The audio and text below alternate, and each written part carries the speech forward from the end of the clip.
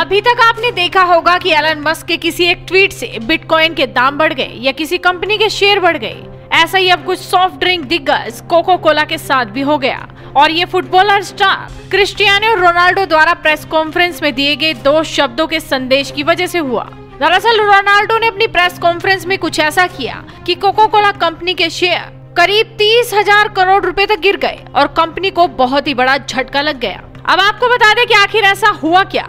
दरअसल इस वक्त फुटबॉल का सीज़न चल रहा है और यूरो कप खेला जा रहा है। इसी बीच पुर्तगाल टीम के कप्तान क्रिस्टियानो रोनाल्डो ने एक प्रेस कॉन्फ्रेंस को संबोधित किया, जैसा कि हर मैच से पहले और बाद में किया जाता है। रोनाल्डो जब प्रेस कॉन्फ्रेंस वाली टेबल पर आए और वहाँ पर माइक के पास दो कोको कोला की बोतल और एक पानी की बोतल रखी देखी, रोनाल्डो ने वहाँ रखी दोनों कोको कोला की बोतल को हटा दिया और पानी की बोतल उठाकर कहा कि ड्रिंक वाटर।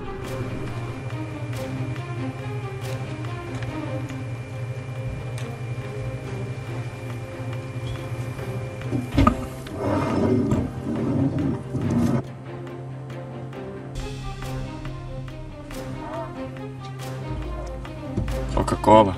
बस 25 सेकंड के इस पूरे वाक्य का असर था कि कोको कोला के शेयर धड़ाधड़ गिरने लगे और करीब चार बिलियन डॉलर तक गिर गए। जानकारी के मुताबिक यूरोप में दोपहर तीन बजे मार्केट खुली थी। उस वक्त कोको कोला के शेयर का रेट छप्पन दशमलव एक डॉलर था। आधे घंटे के बाद रोनाल्डो की प्रेस कॉन्फ्रेंस हुई और उसके कुछ देर बाद ही कोको कोला के शेयर गिरने लगे और ये पचपन दशमलव दो दो डॉलर तक पहुँच गए। तब से लगातार कोको कोला के शेयर में उतार चढ़ाव चल रहा है। आपको बता दें कि कोको कोला यूरो कप का ऑफिशियल स्पॉन्सर है। ऐसे में बतौर स्पॉन्सर उसकी ड्रिंक आधिकारिक कार्यक्रमों में शामिल की जाती है। इस विवाद के बाद कोको कोला ने बयान दिया कि खिलाड़ियों को प्रेस कॉन्फ्रेंस या मैच के दौरान हर तरह की ड्रिंक दी जाती है। अब ये उन पर निर्भर करता है कि वो क्या लेना पसंद करते हैं। ये हर किसी की चॉइस है। खैर, हर किसी को मालूम है कि रोनाल्डो की गिनती दुनिया में सर्वश्रेष्ठ फुटबॉलरों में से होती है। सोशल मीडिया हो या फुटबॉल फैंस उनके चाहने वाले हर कहीं हैं। इससे पहले भी रोनाल्डो ने जंक फ़ूड के प्रति अपनी नापसंदगी के बारे में खुलासा किया था।